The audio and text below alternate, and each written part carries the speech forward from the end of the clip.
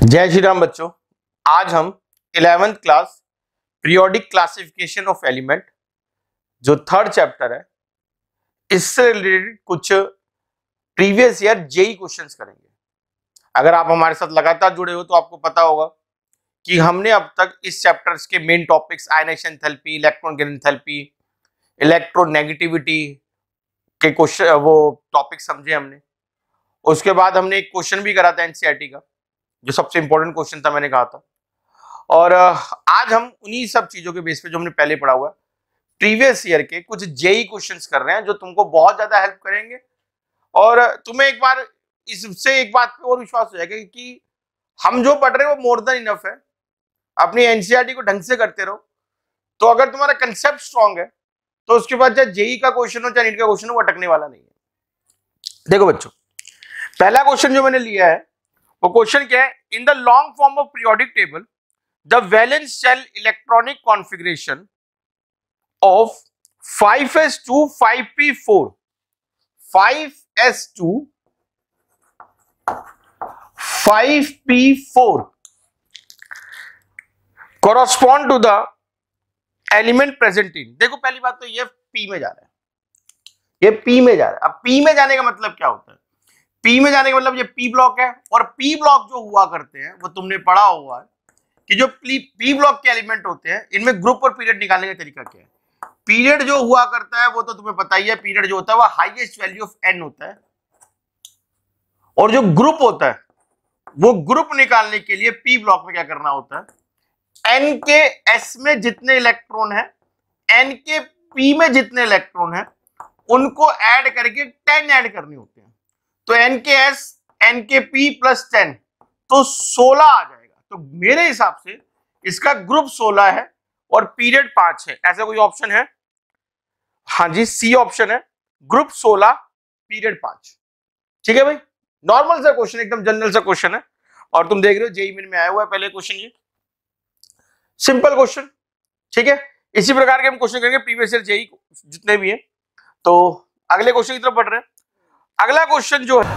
लो बच्चों, अगला क्वेश्चन कर रहे हैं। अगला क्वेश्चन भी प्रीवियस ईयर चाहिए तो क्वेश्चन क्या दरकार है? Consider the following ionisation enthalpy of two element A and B ठीक है? एलिमेंट ए की फ़र्स्ट आइनेशन थेरेपी दे रखी है 899 तुम देख रहे हो? सेकंड की दे रखी है 1757 ठीक है? अब थर्ड वैल्यू देखो जरा।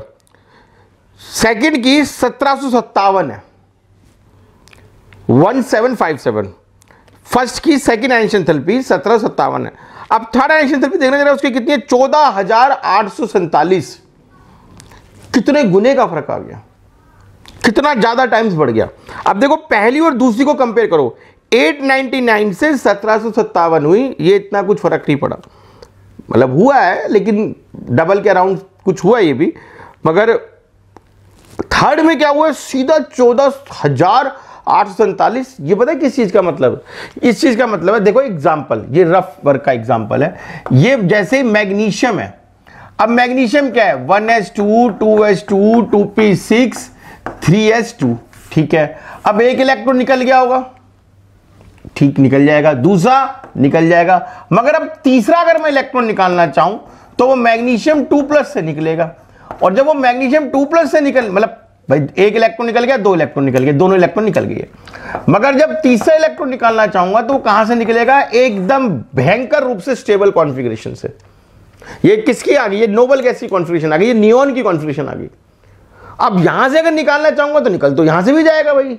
Everything is possible in love war and chemistry मगर दिक्कत क्या है कि यहाँ से निकलने के लिए बहुत ज़्यादा वो एनर्जी मांगेगा और इसी प्रकार से वो एनर्जी तुम देख रहे हो, चौदह तो ये एग्ज़ाम्पल लिया था मैग्नीशियम से मैंने।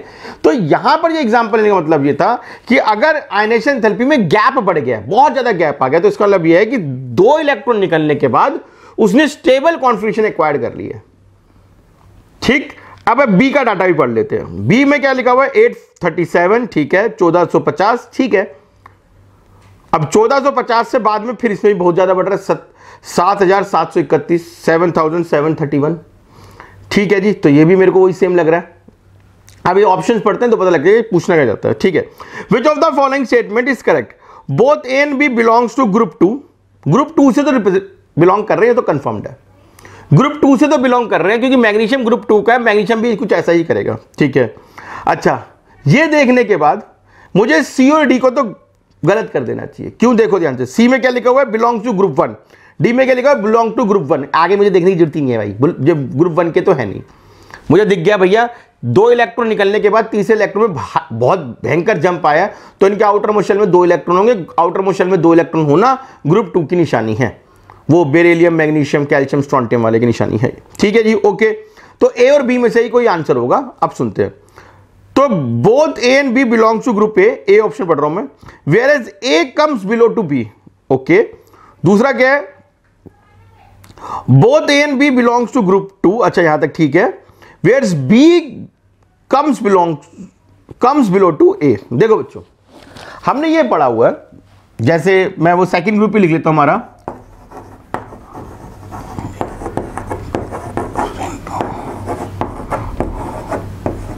ठीक है.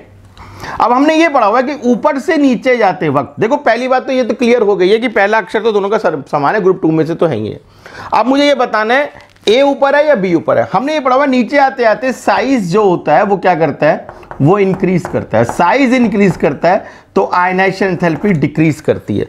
तो नीचे वाले की आयनाइजेशन कम होनी चाहिए मतलब बी नीचे आना चाहिए बी नीचे आना चाहिए तो ऑप्शन कौन सा हुआ? बी ऑप्शन हो गया. Both A and B belong to group two whereas B comes belong to comes below to A देखो, जो पहली आयनेशन तलपी है ए की वो है 899 लेकिन बी की कितनी है? 737 तो मतलब कम है. ए की दूसरी आयनेशन तलपी से भी बी की दूसरी आयनेशन थल्पी कम है। ए की तीसरी आयनेशन थल्पी से भी बी की तीसरी आयनेशन थल्पी कम है। इसका मतलब क्या है? कि जो बी है, वो थोड़ा साइज़ में बड़ा है और साइज़ में बड़ा है तो आयनेशन थल्पी उसकी कम लग रही तो बी नीचे आएगा ए ऊपर होगा। तो भाई, ये एक कोर क्वेश्चन था हमारा, हमारी तरफ़ से तुम्हें जेई मेन का। और ऐसे ही क्वेश्चन कर रहे हैं सारे के सारे। ठीक है जी, चलते रहो, आगे चलते हैं। चलो बच्चों, अगला क्वेश्चन करा रहा हूँ मैं। The electronic configuration with the highest ionisation enthalpy neon three S two three P one मतलब क्या? नियोन तो भैया दस इलेक्ट्रॉन होते हैं ना? तो मतलब ये कहना चाहता है कि neon three S two three P one का मतलब ये है, इसके हिसाब से कि one S two two S two two P six जहाँ तक तो नियोन हो गया। ये three S two three P one तो मेरे ख्याल से एल्यूमिनियम की कॉन्फ़िगरेशन है। ये एल्यूमिनियम है। मतलब मुझे एलिमेंट निकालने की ज़रूरत नहीं है। बता रहा हूँ मैं सिर्फ़। ठीक है। और अगले वाला, उसमें चौदह इलेक्ट्रॉन होंगे टोटल मिला के। ठीक है जी। और अगले वाले हैं पंद्रह इलेक्ट्रॉन है सी में। ठीक है। लो, सुनो। देखो बच्चों, ध्यान से देखना इसको। अब हमने ये पहले पढ़ा हुआ है कि ऐसे जाते वक्त, ऐसे जाते वक्त आयनाइजेशन एंथैल्पी जो होती है, वो इंक्रीज करती है। ठीक साइज़ डिक्रीज करता है और जो आयनाइजेशन एंथैल्पी क्या करती है, वो इंक्रीज करती है। अब देखो जहाँ पे क्या क्या क्या क्या आ रहा है। यहाँ पर एक बंदा आ रहा है, एल्यूमिनियम तेरहवा ग्रुप। अगला बन, सिलिकन, चौदवा ग्रुप। और अगला जो है, वो फॉस्फोरस है। वो पंद्रहवा ग्रुप है। ठीक है। तो ये बताने की ज़रूरत नहीं है कि फॉस्फोरस की अनेक्शन थेरेपी सबसे ज़्यादा होगी। ठीक है, ऐसे आते थे अनेक्शन थेरेपी ज़्यादा होती है। अच्छा अब उसके बाद सी का डी देखो। सी और डी में तुम्हें अंतर दिख जाएगा। सी क्या है? Three S two three P three और डी क्या है? Four S two four P three तो जो डी है, वो फॉस्फोरस के नीचे वाला बंदा है। नाइट्रोजन फॉस्फोरस आर्सेनिक तो तुम इसके आउटर मोस्ट कॉन्फ्यूजन समझ सकते हो, ये सेम ग्रुप के वो three H two three P three है तो ये four H two four P three है। अब हमने ये भी पढ़ा हुआ, अगर आयनिक पी ऐसे आते बढ़ती है तो ऐसे आते हुए घटती भी है। तो सबसे ज़्यादा किसकी हुई? ये फॉस्फोरस की। मतलब आंसर सी ठीक है बच्चों? चलो नेक्स्ट क्वेश्चन कर रहे हैं। ध्यान से देखो। चलो भाई नेक्स्ट क्वेश्चन देख रहे हैं। कह रहे हैं the ionic radius of in angstrom of N three minus O two minus and F minus अच्छा ठीक है। इन्होंने क्या करा? तीन रेडियस दे रखी है। कहने बताओ नाइट्रोजन के आयन की कौन सी ऑक्सीजन के आयन की कौन सी और फ्लोरीन के आयन की कौन सी है? तो यार, हमने ना पहले भी एक इस तरह की ना एक पूरे की पूरी क्लास ली थी एटॉमिक रेडियस और आयनिक रेडियस की। उसमें मैंने समझाया था कि जो साइज़ होता है किसी भी एटम का या आयन का वो directly proportional to number of electron and inversely proportional to number of proton होता है। वो अपने न्यूक्लियर चार्ज के इनवर्स प्रोपोर्शनल होता है और डायरेक्टली प्रोपोर्शनल इलेक्ट्रॉन्स के होता है। उसमें मैंने बताया भी था, जब भी जितने भी जेई के क्वेश्चन आएँगे, नीट के क्वेश्चन आएँगे आईडी के क्वेश्चन आएँगे, उनमें क्या करा जाएगा, कोई एक चीज़ कॉमन लेंगे। या तो उनमें इलेक्ट्रॉन्स कॉमन होंगे। ये सीबीएसई में भी क्वेश्चन है एक एनसीडी में क्वेश्चन है। मतलब या तो उसमें नंबर ऑफ़ इलेक्ट्रॉन कॉमन होंगे, या उसमें नंबर ऑफ़ प्रोटॉन कॉमन होंगे। अब जैसे इस क्वेश्चन में N three minus O two minus और एफ़ माइनस इन तीनों में ध्यान से देखो तो इसमें भी दस इलेक्ट्रॉन है। क्यों? सात इलेक्ट्रॉन होते हैं, तीन इसने ले लिए। इसमें भी दस इलेक्ट्रॉन है, क्यों? आठ इलेक्ट्रॉन होते हैं, दो ले रखे हैं, उधार मांग रखे हैं। इसमें भी दस इलेक्ट्रॉन है, क्यों? क्योंकि नौ होते हैं और एक इलेक्ट्रॉन उधार मांग रखे हैं। तो इनमें इलेक्ट्रॉन तो सब में सेम है। They are isoelectronic species याद हो तो इनको आइसो इलेक्ट्रॉनिक स्पीशीज कहते हैं। अब यहाँ पर जो भी साइज़ है, वो डिपेंड किस पे करेगा? एटॉमिक नंबर पे। जिसका एटॉमिक नंबर सबसे कम, उसका साइज़ ज़्यादा। जिसका एटॉमिक नंबर सबसे कम, उसका साइज़ ज़्यादा। तो नाइट्रोजन का साइज़ सबसे ज़्यादा होगा। उसके बाद ऑक्सीजन के आयन का होगा, उसके बाद फ्लोरीन के आयन का होगा। ये लो भाई, हमारा आंसर आ गया। इस तरीके से आंसर हम इसका निकाल सकते हैं। तो नाइट्रोजन वाला ऑक्सीजन वाला इसमें देख लो मैच कर लो, जहाँ पर मतलब नाइट्रोजन का साइज़ सबसे ज़्यादा होना चाहिए। सबसे ज़्यादा कहाँ पे लिखा हुआ है? और फिर ऑक्सीजन का, फिर फ्लोरीन का, उससे आंसर आ जाएगा। ठीक है भाई साथ साथ एक और क्वेश्चन भी कर लेते हैं। नेक्स्ट क्वेश्चन भी आई थिंक ये समझ में आ गया होगा। और हाँ जिसको ये वाले टॉपिक में कोई दिक्कत है तो हमारी इसी प्लेलिस्ट में इस चीज़ के ऊपर क्वेश्चन इसी चीज़ के ऊपर एक पूरी की पूरी वीडियो पड़ी है, उसको ज़रूर देखें। अच्छा जी, अगला क्वेश्चन देखते हैं। Which of the following has the highest boiling point krypton xenon helium और नियोन शायद तुम्हें पता होगा, ये सारे के सारे अट्ठारहवें ग्रुप के मेंबर हैं। ठीक, और तुम्हें ये भी पता होगा कि अठारहवा ग्रुप ये होता ना? हीना, नीना और करीना के एक्सरे रंगीन। यही बड़ा हुआ ना? अठारवा group, helium, neon, argon, krypton, xenon, radon.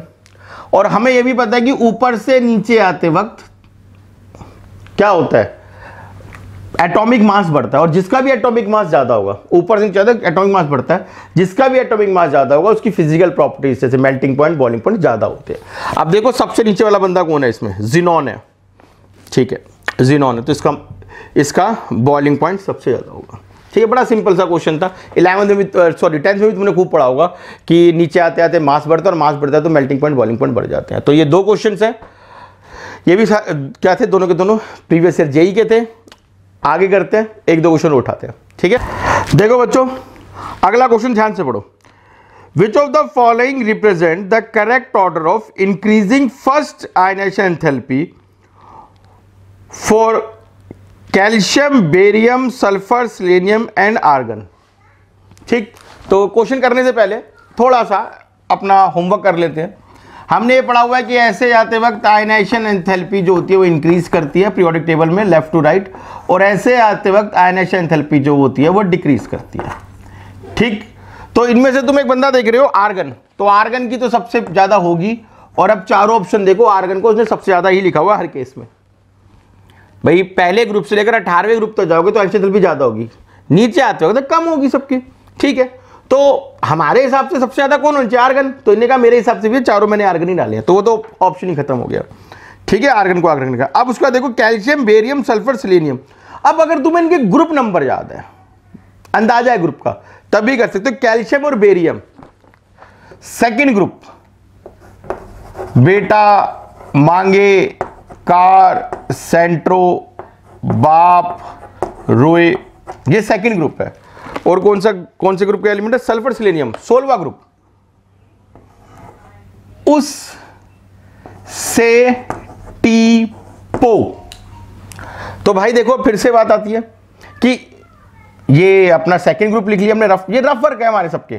ये सेकंड ग्रुप लिख लिया हमने, ये सोलवा ग्रुप लिख लिया, ये अठारवा ग्रुप लिख लिया, अठारहवें ग्रुप का आगे होगा, उसको भूल जाओ तो आर्गन को तो भूल जाओ।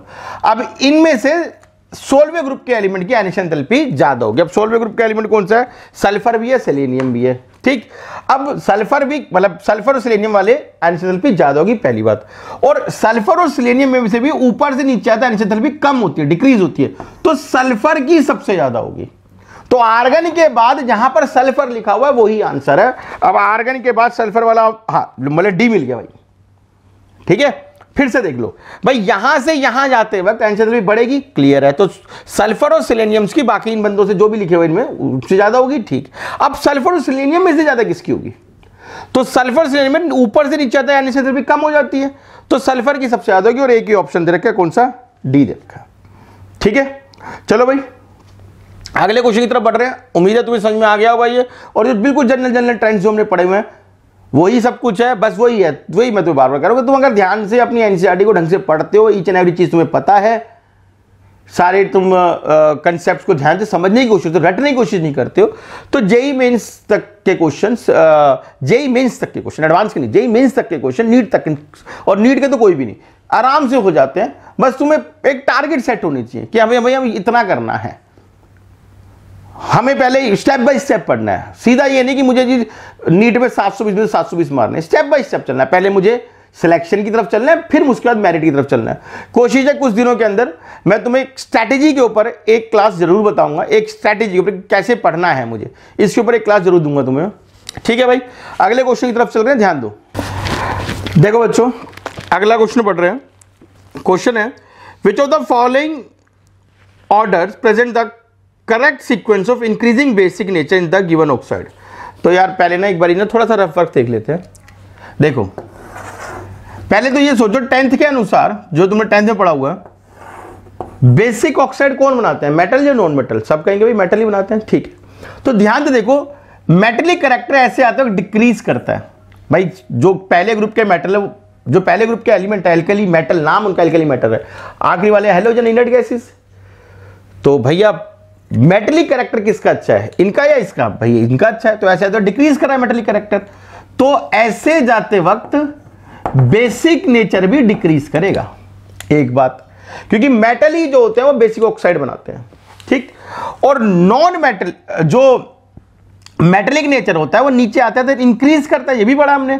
तो बेसिक नेचर भी ऐसे जाते वक्त इंक्रीज करेगा। इस बात को ध्यान रख लो। एसिडिक नेचर इससे उल्टा होगा। एक और बात। मैंने बताया बेसिक नेचर ऐसे आते वक्त इंक्रीज करेगा। मगर ये बेसिक नेचर मैंने ऑक्साइड का बताया है। ट्वेल्थ क्लास के अंदर पी ब्लॉक के अंदर हाइड्राइड के बेसिक नेचर आते हैं। उसमें मत लगा देना ये। उसमें तो उल्टा हो जाता है। फिर कहोगे जी, गलत पढ़ा दिया। ये ऑक्साइड्स के बेसिक नेचर है। ऐसे आते वक्त बेसिक नेचर ऑक्साइड्स का डिक्रीज करते हैं, ऐसे आते बेसिक नेचर ऑक्साइड्स का क्या होता है, वो इंक्रीज करता है। ठीक है, इसको देखते हैं। अब इसमें बोला गया है, एल्यूमिनियम ऑक्साइड है, मैग्नीशियम ऑक्साइड है, सोडियम ऑक्साइड है, पोटेश, और अपना पोटेशियम ऑक्साइड। लो, हो गया क्वेश्चन देखो भाई तो ऐसे तक कम हो रहे हैं तो पहला ग्रुप दूसरा ग्रुप तेरहवा ग्रुप पहले ग्रुप का कौन है अपना? सोडियम और पोटेशियम।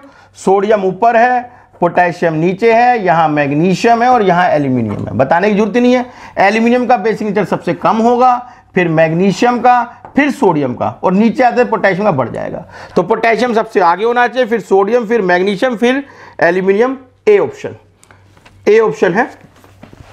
जनरल ट्रेंड्स पता होने चाहिए भाई, सिर्फ़। वो पता होगे तो आगे भी भैया तुम्हारा क्वेश्चंस हो जाएँगे। और तुमने देख ही लिया होगा हमने किस तरह के क्वेश्चंस कराए, किस तरह से इस चैप्टर को डील करा हमने। हमने पहले तुम्हें सारा का सारा जो भी इस चैप्टर के अंदर टॉपिक्स है, उनको समझाया, उनसे रिलेटेड क्वेश्चंस कराए एनसीईआरटी क्वेश्चंस कराए, उसके बाद अब मैंने तुम्हें क्या कराया, ये प्रीवियस टेस्ट के जेई क्वेश्चंस है। इसी प्रकार की और अपडेट्स के लिए क्लासेस के लिए, इसी प्रकार के और टॉपिक्स के लिए भैया, हमसे जल्द से जल्दी ज़्यादा संख्या में जुड़ जाओ। और जिन्होंने अब तक चैनल को सब्सक्राइब नहीं करा सब्सक्राइब कर लो। इस तरह की क्लासेस आती रहेंगी। तुम्हें पूरा का पूरा शेड्यूल्स डिस्क्रिप्शन बॉक्स में डाल दिया जाता है कि किस दिन कौन सी क्लास आने का डेट है डे है। ठीक है जी? फिर मिलते हैं बच्चों। जय श्री राम।